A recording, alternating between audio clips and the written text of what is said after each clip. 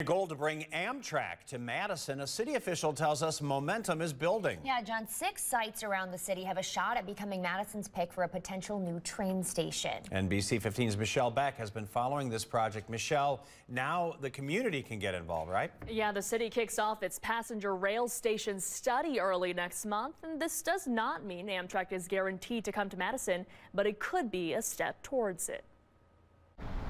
X marks a spot where City of Madison officials imagine a future Amtrak station. This is a way for us to, to demonstrate to the federal government that we are serious about wanting to bring rail here ourselves. From UW campus to the airport, there are in fact six locations transportation planner Philip Gritzmacher says are up for consideration.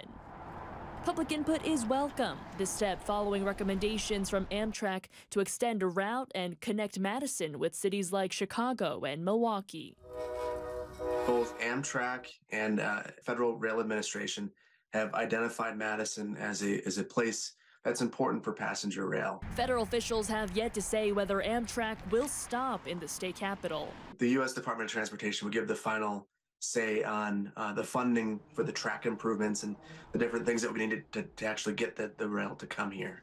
But the federal dollars are out there. City staff point out the bipartisan infrastructure law increased passenger rail funding over 500%.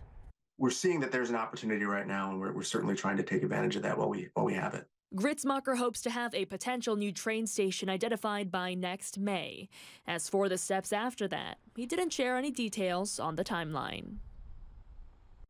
The Madison mayor has also included the Amtrak project in next year's capital budget. According to the mayor's office, once a station site is chosen, $350,000 will be used to create concept drawings and identify any necessary improvements. Live in the studio, Michelle Beck, NBC 15 News.